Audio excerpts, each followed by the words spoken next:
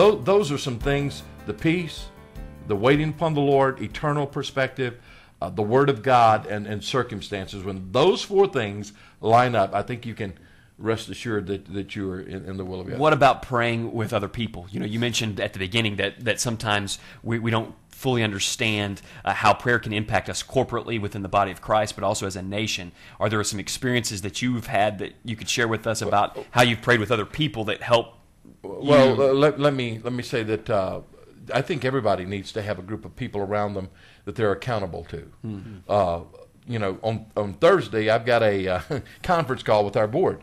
We're six months through our last board meeting, and we're having a conference call. And I'm gonna. I, when this is a, our conference and our meetings are, are very open and honest and transparent. Mm-hmm. And I'll share with them, hey, this is what's going on in me. This is what's going on in the ministry. This is where we're at. This is the mm-hmm. problems we're having. This is the mm-hmm. victories we're having.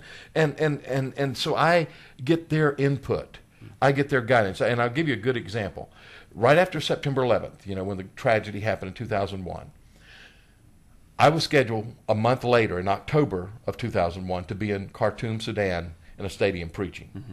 And a lot of people were upset with me. Sammy, you can't do that. You know, you, you're, this is stupid. You know, you- this is not thinking your life at rational. And uh, that's true. I mean, rationally, logically, it was not a good place to be. Osama bin Laden built the airport in Khartoum. Yeah. So, uh, you know, and, and oh, uh, Al Qaeda at that time was still operating in, in, in Well, they had, hadn't they attacked the church right before in, that? in April before that, they had thrown, uh, the government had actually done that. So here I was going in for a citywide crusade, but God spoke to my heart.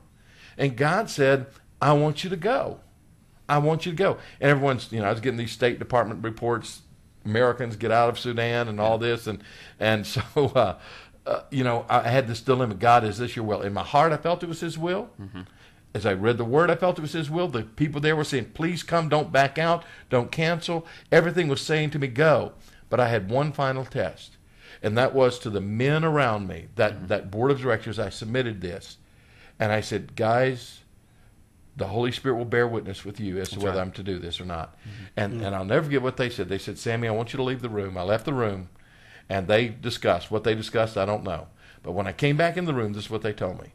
They said, Sammy, we believe it's God's will for you to go to Khartoum. Mm-hmm. Mm. However, we don't know if it's God's will for you to come, Come back. back. So if, if you're willing to go on that basis, then go. Yeah. You have our blessings. Well, that to me was a confirmation. Mm. That was a confirmation. And so that's what I'm saying. Having people, godly, spiritual, mm-hmm. praying people mm-hmm. around you who can pray mm-hmm. with you. And and so because so many times there are these things that, that we just don't know. You know, and I've never shared this with you, but back here at the office, um, I, when you said that, it reminded me that you know also our spirits will bear witness with each other's. Back here at the office, we were praying daily with in, in doing something a little bit differently. We, we pray every day here uh, as Yeah, a staff, but we had invited people to come in. Yeah. And you know, this is this is a building. It's no different than any other building. But the atmosphere on those days, as we were praying, we tried to link up the time that we would be praying at the same time you'd be preaching over there. So it was earlier in the morning. And I can just remember the atmosphere in this building was different because the body of Christ was coming together in something that God had already said do. Um, and, and to me, that was just a confirming uh, part of what God does when He helps you understand that that's something you're, you're supposed And, to do. and, and let me back up because I had forgotten about that too. What we did was we, we said, all right, at, at I think it was an early morning it's like hour, six or seven in the six morning. or seven in the morning. Our office is going to be open to our friends in San Antonio who would like to come and pray. Also, other churches. Churches, 'cause our Yeah. church Right, you're right. Yeah. And, and, and uh. Maranatha, and I think there were churches. Nappanee, uh, and uh, Missionary Church in, in Indiana, and they they prayed early in the morning. Mm-hmm. In fact, Pastor Dave Engbrecht's wife happened to be here in San Antonio at that time, and she participated in the prayer meeting. And while I was preaching in that stadium, people were praying. And then after it was over, uh, Dave Engbrecht would call me on the phone, and, and we would and we'd have a conversation over the internet for those people who had been praying for us Yep. to hear how God had answered their prayer. I mean, it was an mm. awesome thing. It was an awesome mm. thing. We kind of got that was a rabbit trail, but that was a pretty good one.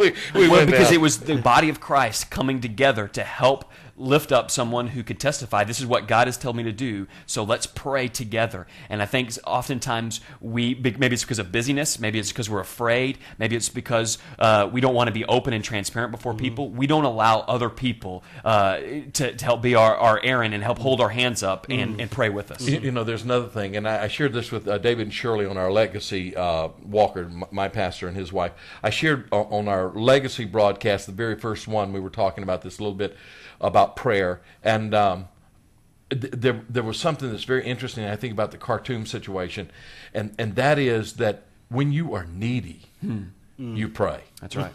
you know, someone said, "What what's the greatest prayer you ever heard prayed?" Mm. The greatest prayer that I have ever heard prayed was one word. Mm. Help! That's right. You know, because we, we, we come to the place where we, we, God, I'm needy, and th- that's, a part of prayer.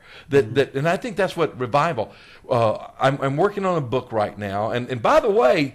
Uh, I'd like to hear from you. You can write to us at renewal at sammytippit.org. The reason uh, I'm, I'm bringing that up at Sa- uh, renewal at sammytippit.org, I'm working on a book uh, on prayer and how God has answered the prayers of people, how we're living and basking in the glory of the prayers that people have prayed.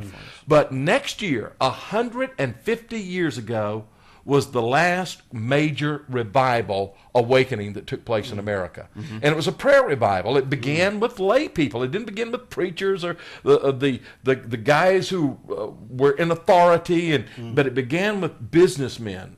Uh, and there had been a crash in the business community in New York. And, and because of this economic crash, uh, people began to seek God together. And out of this great prayer revival, God moved in a tremendous way. What reminded me of that was in Khartoum, that's really what happened. Yeah, that's right. Uh, we, we were, we need, knew we needed God. Right. Uh, my, my grandmother, uh, whom I never knew, you know, and, and one of the great things, and y'all know, is, is that uh, I can say for the first time in my life, I love my grandmother. now, the, don't throw tomatoes at me because it's the first time. But the reason I can say that is, and, and by the way, I've got a, an article on our website about this this week. Uh, but uh, my grandmother had a place that she went and prayed. But interestingly, she had a child, a son that had died and was buried at that spot. And she would go to the place of her suffering and cry out to Yeah. God.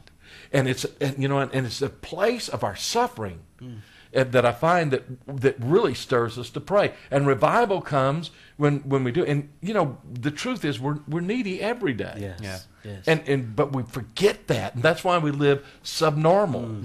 And, and we've got to we, we've got to come back to that uh, nor, normal Christian life, and that normal Christian life is realizing, hey, I need you today. That's right. I need you today. So at the point of hurt, at the point of need, at the point of suffering, is often when we, we come back to God. And so c- coming back from that uh, thing in Khartoum, we, we all knew that we needed God Yeah. then.